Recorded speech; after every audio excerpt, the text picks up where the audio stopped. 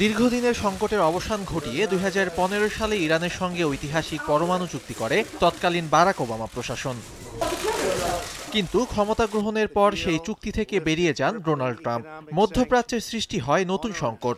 তবে এক বিশ্লেষণে বিবিসি জানিয়েছে, ক্ষমতা গ্রহণের পর জো বাইডেন ইরান সংকট মোকাবেলায় আন্তর্জাতিক প্রচেষ্টার সঙ্গে যুক্ত হতে প্রস্তুত।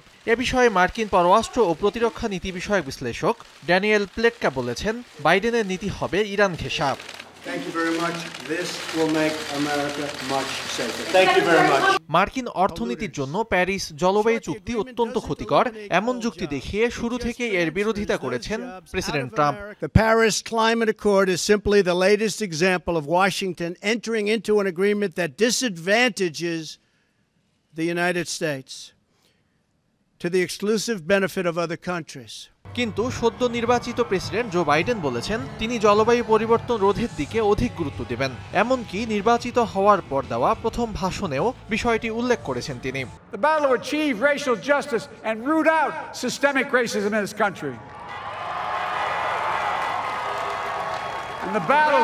To save our planet by getting climate under control.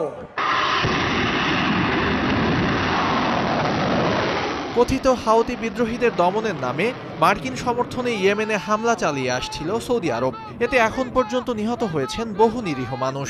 বাইডেনের বিভিন্ন সময়ের বক্তব্যের সূত্র টেনে বিবিসি বলছে, ইয়েমেনের বিরুদ্ধে সৌদি জোটে চলমান অভিযান থেকে সমর্থন তুলে নেবেন তিনি। বিবিসি আরও জানিয়েছে, ট্রাম্পের শাসন আমলে ফিলিস্তিনির সঙ্গে সম্পর্কের যে চূড়ান্ত অবনতি হয়েছিল, তা পুনরুদ্ধার করবেন বাইডেন।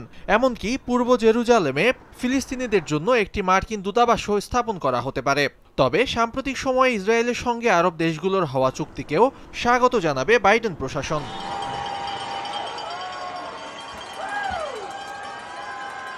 এছাড়া ন্যাটো সহ বিশ্ব জোটগুলোতে ক্ষুণ্ণ হওয়া মার্কিন ভাবমূর্তি পুনরুদ্ধারে বাইডেন কাজ করবেন বলেও ধারণা করা হচ্ছে। কাজীফ থেকে শুভ, সময় সংবাদ।